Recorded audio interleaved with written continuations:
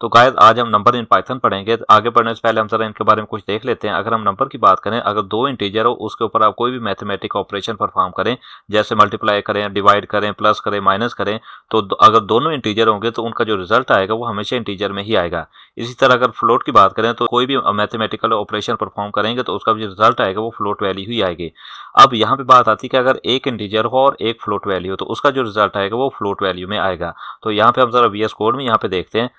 तो यहाँ पे हम जरा कमेंट आउट कर लेते हैं इंटीजर नंबर यहाँ यानी कि जो दोनों नंबर है वो इंटीजर है। तो इंटीजर की अगर बात करें तो उनका जो रिज़ल्ट आएगा वो भी इंटीजर में आएगा। यहाँ पे हम देख लेते हैं प्रिंट वैल्यू करके देख लेते हैं। तो यहाँ पे हम एक इंटीजर ले लें इसके साथ हमने सेकेंड इंटीजर ले लिया। अब यहाँ पे इसको हमने कर लेते हैं कंट्रोल एस सेव करने के बाद हम जरा इसको करते हैं रन तो यहाँ पे अगर हम इसको रन करते हैं तो इसका रिज़ल्ट देखते हैं। यहाँ पे देखें, इसका जो रिज़ल्ट आ रहा है वो इंटीजर ही आ रहा है। इसी तरह हमने अगर पीछे बात की थी कि अगर दो अगर दो फ्लोट वैल्यू तो उनका जो रिज़ल्ट आएगा वो फ्लोट वैल्यू में ही आएगा। हम ज़रा इसको फ्लोट वैल्यू बना लेते हैं। यहाँ पे हम इसको फ्लोट वैल्यू बना दिया इसी तरह इसको भी हमने फ्लोट वैल्यू बना दिया। तो अब जो दोनों को फ्लोट वैल्यू बनाने के बाद करते हैं कंट्रोल एस और फिर से करते हैं रन तो यहाँ पर रन करने के बाद अगर आप इसके रिज़ल्ट की बात करें, इसका जो रिज़ल्ट आया, वो आया फ्लोट वैल्यू ही आया। और इस तरह अगर हम बात करें कि एक इंटीजर हो और एक फ्लोट वैल्यू तो यहाँ पे हम जरा कमेंट कर लेते हैं one integer and one float value तो यहाँ पे कर लेते हैं वन फ्लोट वैल्यू अब इसका जो रिज़ल्ट आएगा वो फ्लोट वैल्यू ही आएगा। तो यहाँ पे हम जरा इसी को कॉपी कर लेते हैं और इसको यहाँ पे कॉपी करने के बाद कर देते हैं पेज अब यहाँ पे हम ए को बना बना देते हैं, यहाँ पे इंटीजर बना देते हैं। तो यहाँ पे इसको ज़रा रन करते हैं। यहाँ पे रन करने के बाद देखें इसका जो रिज़ल्ट आ रहा है वो सेवन आ रहा है। यानी कि फ्लोट वैल्यू आ रहा है। यहाँ पे हमारे पास जो वन इंटीजर है वन फ्लोट वैल्यू और सेकंड नंबर पे हमारे पास वन इंटीजर है।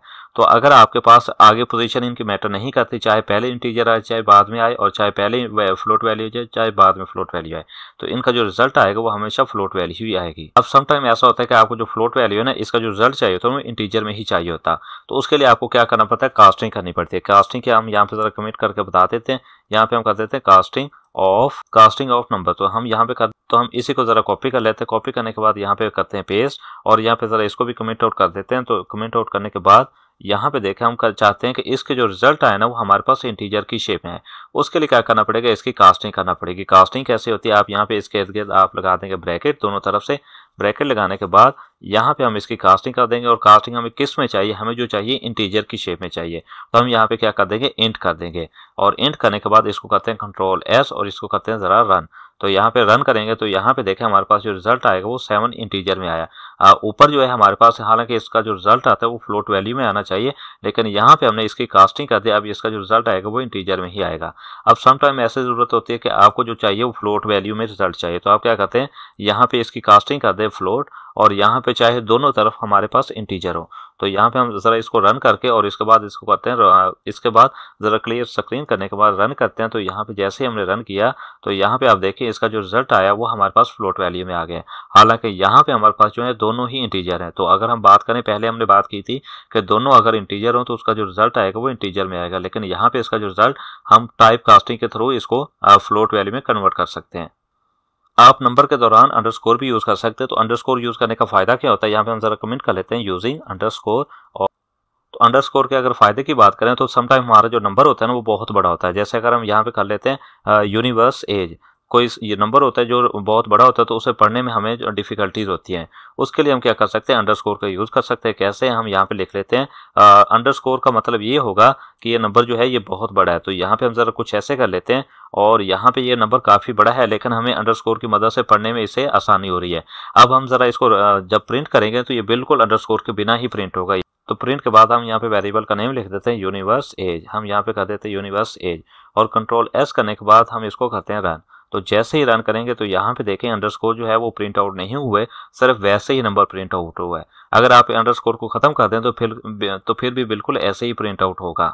सो नेक्स्ट देखते हैं कि आप मल्टीपल असाइनमेंट सेम लाइन में कैसे कर सकते हैं। तो यहाँ पे हम जरा कमेंट कर देते हैं मल्टीपल असाइनमेंट तो ज़्यादातर हम जो वैल्यू असाइन करते हैं वो कुछ ऐसे करते हैं। यहाँ पे हम एक वेरिएबल का नेम रख लेते हैं एस एक्स यहाँ पे हम इसको कोई भी वैल्यू असाइन कर देते हैं, उसके बाद हम वेरिएबल का नेम रखते हैं वाई और यहाँ पे भी इसको कोई भी वैल्यू असाइन कर देते हैं और इस तरह हमारे पास एक वजीब नाम का वेरिएबल है, उसकी भी कोई वैल्यू आप असाइन कर देते हैं।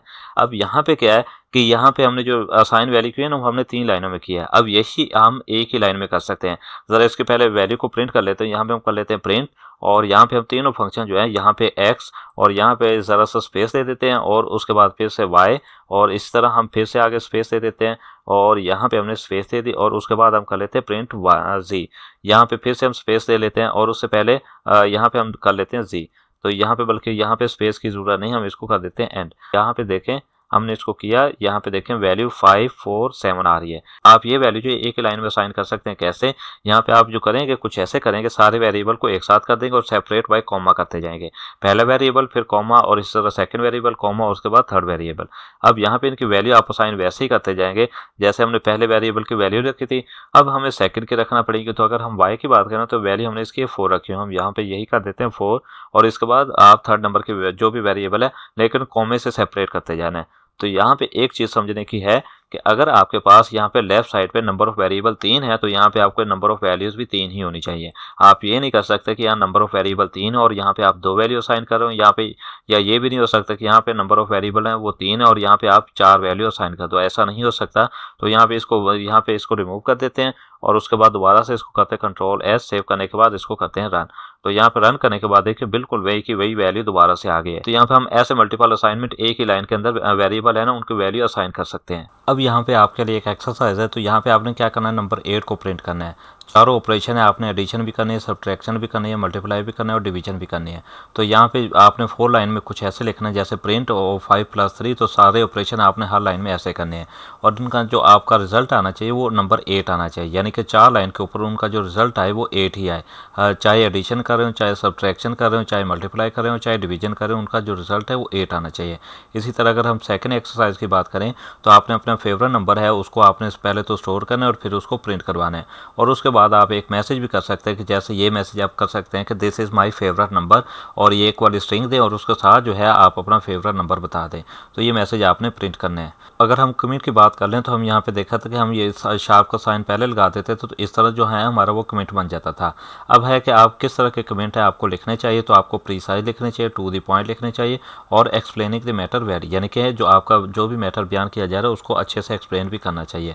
अब यहाँ पे हम ज़रा देख लेते हैं तो कमेंट जो होते हैं वो दो टाइप के होते हैं। यहाँ पे जैसे हम यहाँ पे कर लेते हैं दिस इज़ हम यहाँ कर रहे हैं this is a single line comment तो इसको कमेंट कैसे करेंगे हम यहाँ पे शार्प का साइन लगा देंगे तो यहाँ पे सिंगल लाइन कमेंट बन जाएगा। अब इसी तरह समटाइम हमें ऐसे ज़रूरत होती है कि हमें मल्टीपल लाइन कमेंट की ज़रूरत होती है। जैसे अगर हमें दो लाइन तीन लाइन या चार लाइन पे आना चाहिए तो वो कैसे होगा? यहाँ पे हम देख लेते हैं। तो इस तरह हम ये इनको मल्टीपल लाइन बनाना चाह रहे हैं। हम यहाँ पे देखते हैं कि समटाइम हमें एक से ज़्यादा लाइनों पे कमेंट करने की ज़रूरत होती है। एक तो इसका जो मेथड है वो ये है कि आप उसके ऊपर जो है ना, यहाँ पे शार्प का साइन यूज़ कर लें। यहाँ पे हम कर लेते हैं मल्टीपल लाइन तो सेकंड मेथड जो होगा वो ये है कि आप यहाँ पे ट्रिपल कोट यूज़ कर लें। आप डबल कोट भी यूज़ कर सकते हैं, आप सिंगल कोट भी यूज़ कर सकते हैं। तो यहाँ पे आप चाहें तो डबल कोट है थ्री टाइम यूज़ कर लें और या आप सिंगल कोट है थ्री टाइम यूज़ कर लें। और इसके बाद जहाँ पे आपका कमेंट एंड हो रहा है, वहाँ पर जाके आपने फिर से थ्री टाइम वो है, ये डबल कोट अगर आप ये स्टार्ट में डबल डबल कोट यूज़ करें तो आपको एंड पे भी डबल कोट ही यूज़ करना पड़ेंगे। अब ये जो है हमारा ये मल्टीपल लाइन कमेंट बन गया है।